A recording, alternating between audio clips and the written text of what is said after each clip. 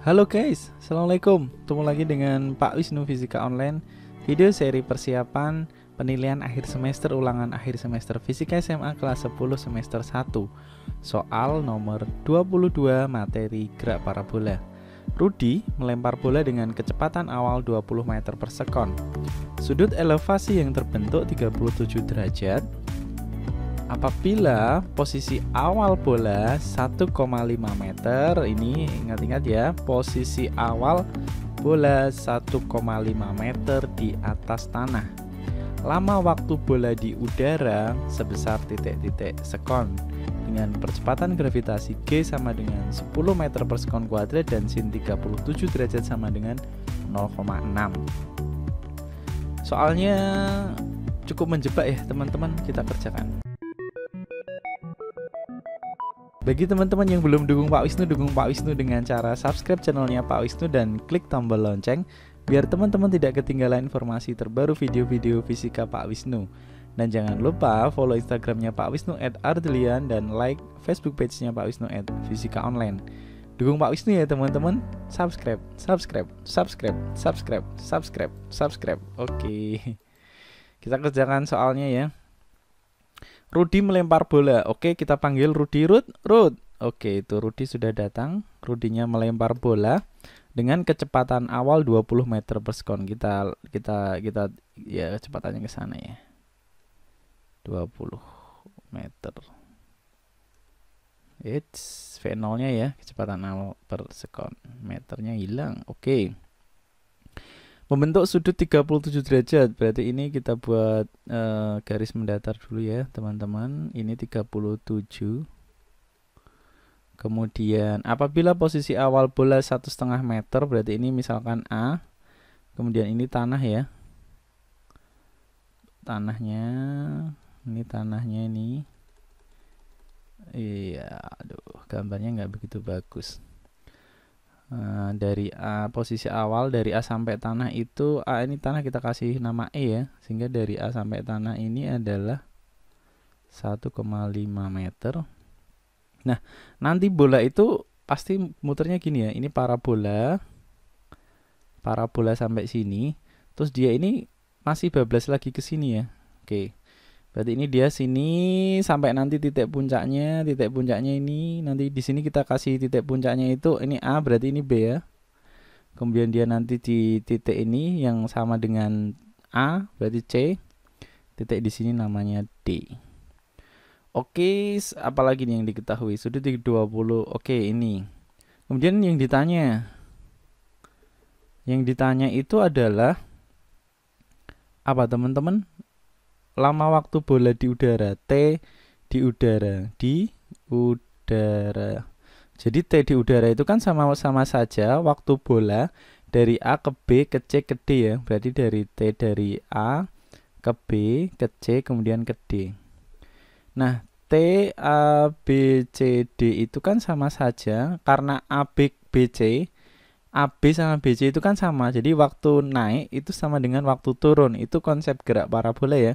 Berarti kita bisa tulis dua kali TA ditambah CD begitu kan? Atau ini ditulis dulu deh.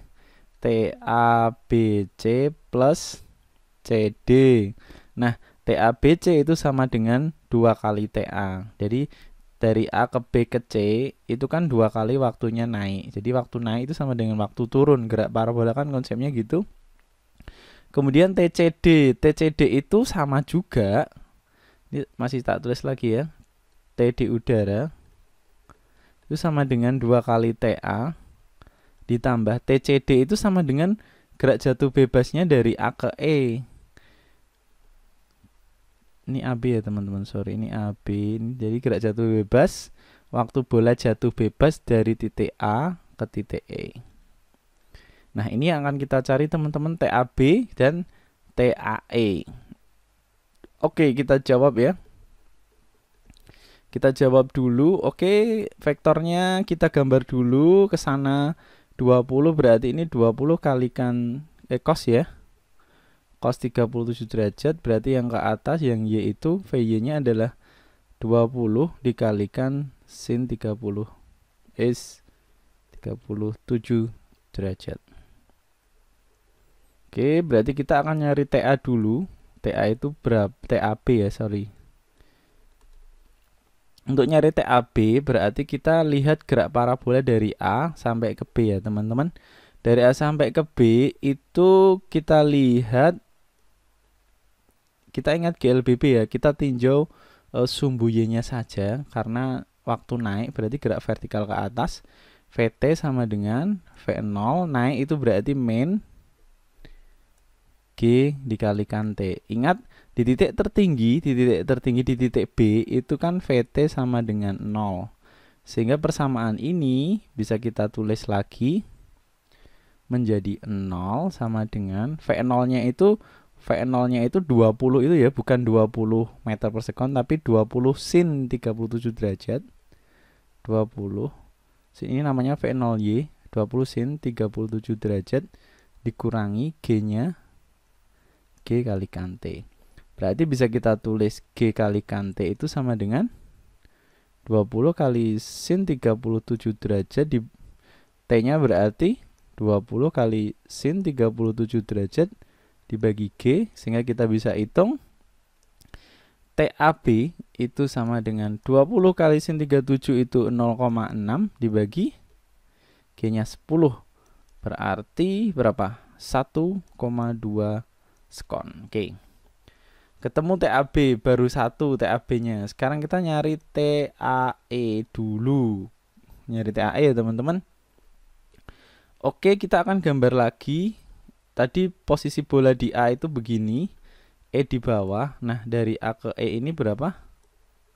1,5 meter. Jadi gerak parabola itu bisa dilihat dari sumbu X dan sumbu Y ya yang sumbu Y itu GLBB, yang sumbu X itu GLB. Kita akan lihat gerak ini eh, gerak jatuh bebas. Jadi AE itu bisa dilihat sebagai di sumbu Y-nya saja sebagai gerak jatuh bebas. Di sini berarti V0 sin 37 derajat. Berarti kita punya kecepatan awalnya itu sama dengan V0-nya itu 20 sin 37 itu 0,6 berarti berapa teman-teman? 12 ya 12 meter per sekon. Oke. Kita mau nyari T. T dari A ke E, T dari A ke E itu ada dua rumus ya. VT sama dengan V0 kalau turun berarti plus G kalikan T atau VT kuadrat sama dengan V0 kuadrat plus 2GH. Ingat, kalau mau nyari T ini berarti kita harus punya G, punya V0, punya VT. G kita punya, V0 kita punya, VT yang belum kita punya, maka VT ini dicari dengan rumus ini dulu. VT kuadrat sama dengan kita nyari VT dulu ya. VT-nya kita cari dulu. Berarti VT kuadrat sama dengan V0 kuadrat plus 2GH. V0-nya itu berarti ini ya, bukan 20, tapi 12 kuadrat 12 kuadrat ditambah 2 kali G-nya 10 hanya 1,5. 12 kuadrat itu 144 ditambah 10 kali 5 1,5 15 kali 2 30 berarti VT kuadrat itu sama dengan 174 berarti VT itu sama dengan akar dari 174 yaitu berapa 13,2 meter per sekon. Ketemu VT. Ketemu VT kita masukkan VT ke sini sehingga bisa ketemu T ya. VT sama dengan V0 plus GT. VT-nya 13,2 sama dengan V0-nya itu 12 ditambah G-nya 10 dikalikan T. Berarti 10T kita bisa tulis sama dengan 13,2 dikurangi 12. 10T sama dengan 1,2 T sama dengan 0,12 kon. TE udah ketemu teman-teman 0,12 kon 0,12 kon Ingat waktunya kita balik ya Ki TAB ketemu itu TAE itu ketemu 0,12 sekon. Oke kita masukkan ini ya. T udara itu sama dengan dua kali TAB ditambah TAE sama dengan 2 kali TAB nya itu 1,2 ditambah 0,12 sama dengan 2,4 ditambah 0,12 sama dengan 2,52 sekon jadi T di udara itu ketemunya adalah 2,52 sekon jawabannya T teman C teman-teman sorry. Nah banyak teman-teman yang salah banyak yang cuma ngitung sampai 2,4 kalau 2,4 itu cuma sampai C ya.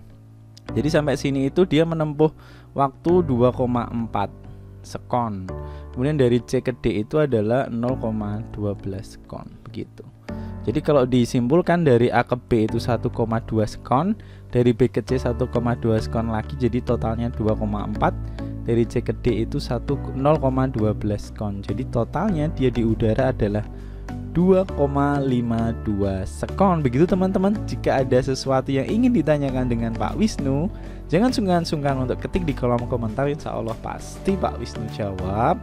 Dan kalau video ini bermanfaat, jangan sungkan-sungkan gratis untuk di like dan di share biar teman-teman yang lain jadi bisa tahu biar video ini jadi lebih bermanfaat biar pendidikan Indonesia jadi tambah maju Jangan lupa di like dan di share ya teman-teman. Terima kasih sudah menonton videonya Pak Wisnu. Sampai ketemu lagi di video Pak Wisnu selanjutnya. Jangan lupa di subscribe. Wassalam.